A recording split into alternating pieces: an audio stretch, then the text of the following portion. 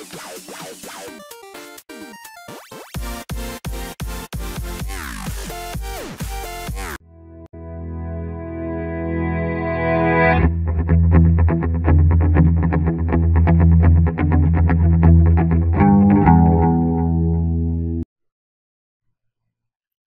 YouTube chess lovers, my friends, this is Gunjan here. Welcome to the 55th episode of Dirty Chess Tricks.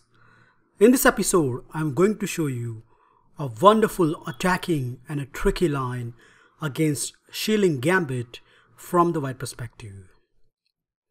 The opening arises after the following order e4, e5, and it doesn't matter whether white continue with knight to f3 or bishop to c4. Let's say in this game, White played bishop to c4 first and after knight to c6 he continued with knight to f3. Now the typical shilling gambit arises on the board after the move knight to d4 which is in fact at club level very effective and black is playing for one card hoping that white will take this pawn. After that queen to g5 gives black a very good game just within the opening stage. First, let me quickly highlight what is the problem in this position. So as a white, if you reach this position first time, you might be tempted to go ahead with knight captures f7, which in fact hit the 2 piece. But actually here, the fun begins for the black camp, as after queen captures g2, attacking the rook, rook to f1, and now the winning move, queen captures e4. And no matter however white blocks, he has a completely losing position just within 7 move of the game. So no wonder this sort of attack attract a lot of beginners and if you check out YouTube, there are a lot of videos exist in this line which no doubt attract many people. Now the people who know about this trap, they can easily refute this gambit either with c3, d3 or castle and all these moves gives white a slight advantage.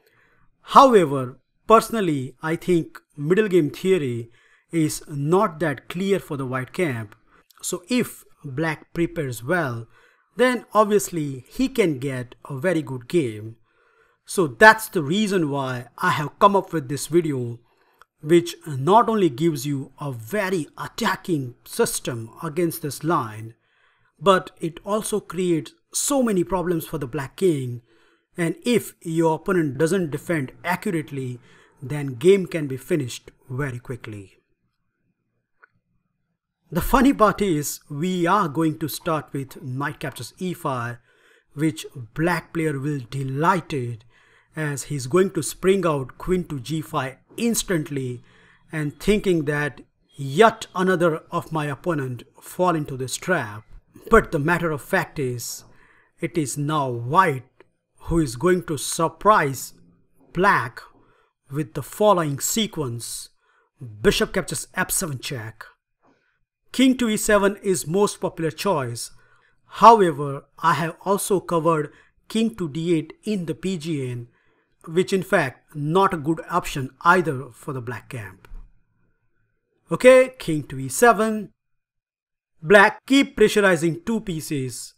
And don't forget the g2 pawn is also hanging. But here comes the point behind playing this line. White is going to castle at this point, sacrificing the whole piece.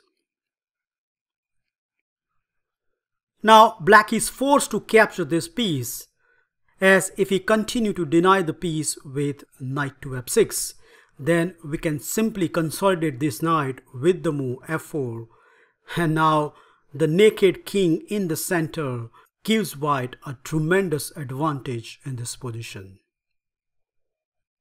So obviously black is not going to miss out this and he's definitely going to grab this piece thinking that White has made an opening disaster.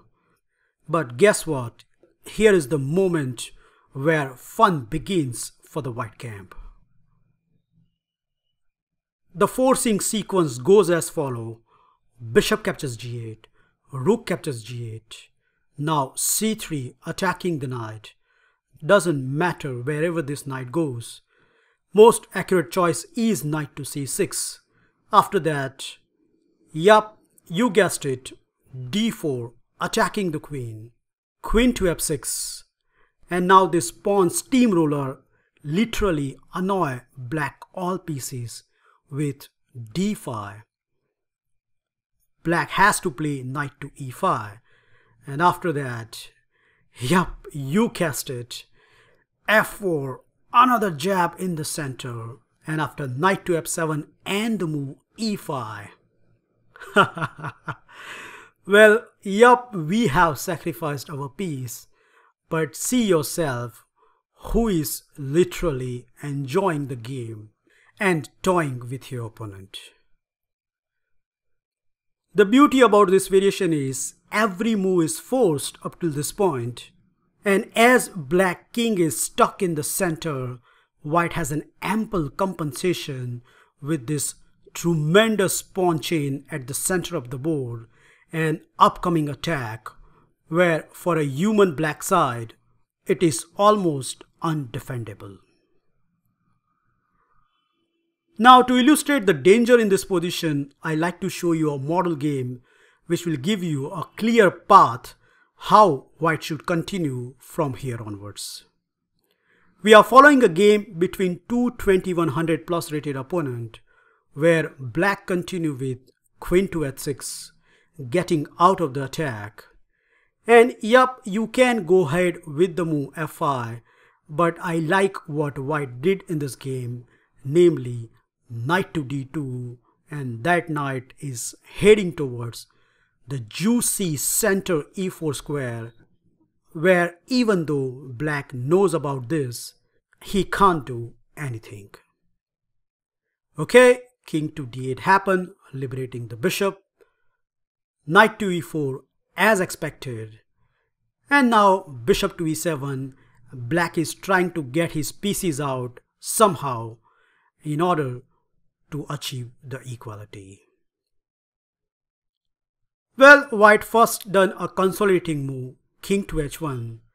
And now in the view of f5, black move the queen out with queen to h4. But it turns out that after white's next move, it is confirmed that white is having a huge advantage from this position. Can you guess the first killing move of the game?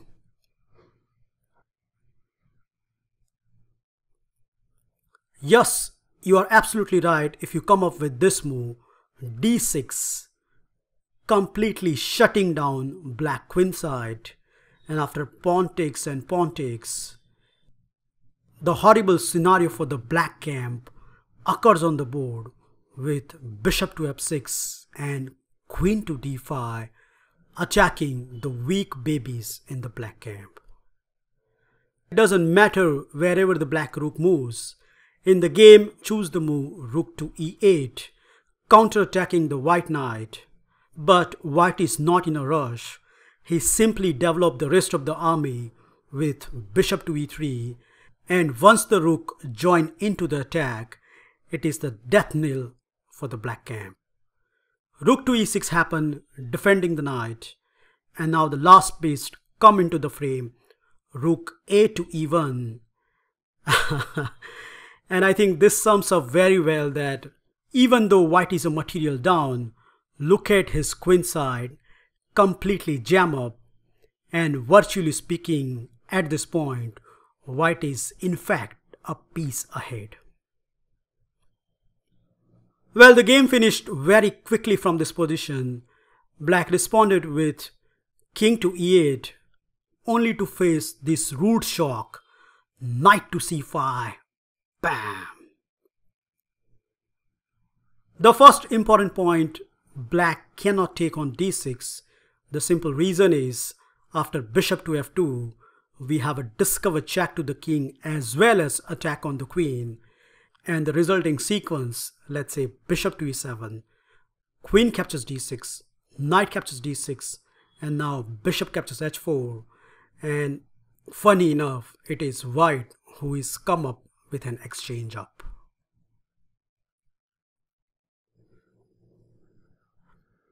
So practically speaking that rook cannot move. So in the game black decided to play knight to d8 defending the rook. But I think after white's next reply black sees that his position is a complete goner. The third critical blow happened at this point. Yup, it's f5. and white says, well, I'm going to grab your rook for free as if you try to give an exchange sack with rook captures e3, white can deliver a checkmate at the back rank. So unfortunately that rook cannot move. And in the game, black tried the move bishop to e5, which threatens a checkmate.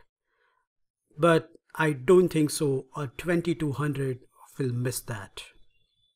H3 happened and after queen to g3, white can simply parry all the threats with bishop to g1 and now indeed threatening two of the black piece so Black finally decide that, okay, let me just get rid of this very annoying d6 pawn. But doing so, he done the final mistake of the game, as White deliver this finishing knot. Maybe you can try it. Just pause the video and find out a sequence where White is completely winning. Are you ready? Let's start. F captures e6, D captures e6, knight captures e6, and after knight captures e6, here comes the final blow. Rook captures e6. and the point is, after bishop takes and queen takes, doesn't matter whatever black plays, he get a completely losing position. You can't block with the bishop, as you are going to lose a piece. And if you continue with king to d8, then after white's next accurate response, rook to f7, there is no way black can save the checkmate.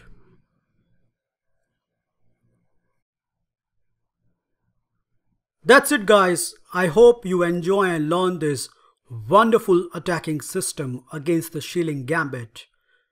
Remember, play the move knight captures e5, allow your opponent to play queen to g5, and then shock him with the following sequence bishop captures f7, king to e7, and now castle, sacrificing the knight but winning the game with a tremendous attacking position.